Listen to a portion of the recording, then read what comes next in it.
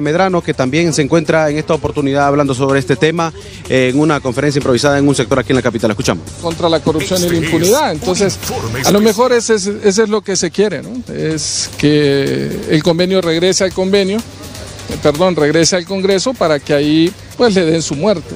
Si lo que se especula es cierto, no lo puedo asegurar de ninguna manera, sería una especulación, pero si lo que se especula es cierto de que se está negociando esta modificación del convenio en cambio a un voto para la OEA, sería lamentable. Sería lamentable para la OEA misma, eh, sería lamentable para la comunidad internacional, sería lamentable por sobre todo para el país, porque tú no puedes negociar el voto de lo que sea en perjuicio del pueblo hondureño, como sucedió con el traslado de la... Eh, solo nueve países en el mundo, entre los cuales estaba Honduras, eh, votaron a favor en la ONU. Por una negociación del país.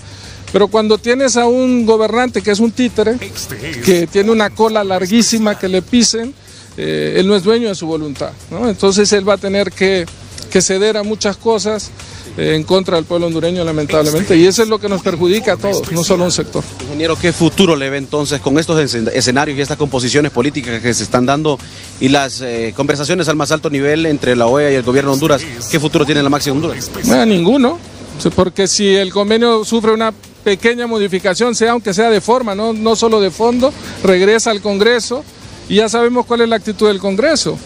Y dime tú de verdad, o sea, y los empresarios, todo el mundo debe saberlo.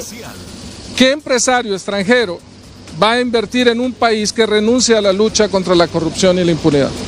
Ninguno.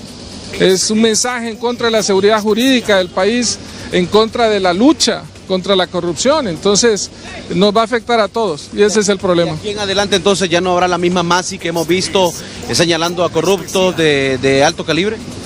Hay que ver qué resulta de esa negociación que están haciendo, ¿no? Eh, esperaría yo que no. Pero si es así, ¿qué sentido tiene la máxima? Muy bien, gracias ingeniero, muy amable. El ingeniero Luis Zelaya también, eh, importantes reacciones al respecto de este tema, compañeros, considerando de las conversaciones que se están dando en Washington entre eh, los enviados del, del, gobierno de Honduras y también los personeros de la Organización de Estados Americanos, en este caso el secretario general don Luis Almagro. Compañeros,